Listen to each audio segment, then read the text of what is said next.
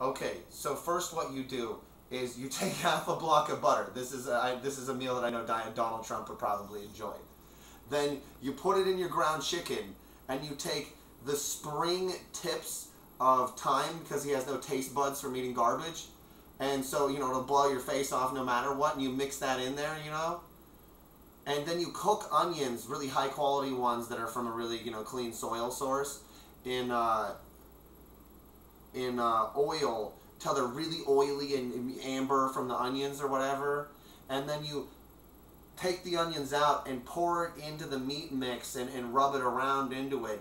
Then you put it on an open fire grill with like pieces of like you know fruit wood and different things, and you you just grill it while it's all oily and drippy and disgusting, and then you smash that son of a bitch into like you know a burger that's made out of like you know polymer buns. I don't know why there aren't any healthy polymer buns, We but got them once. yeah, but they they are they had uh,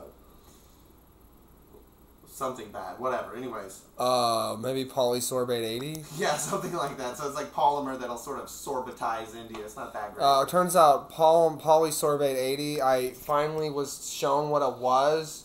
It's the part of corn syrup that's the polymer mixed with, what else is it? Something else that's not.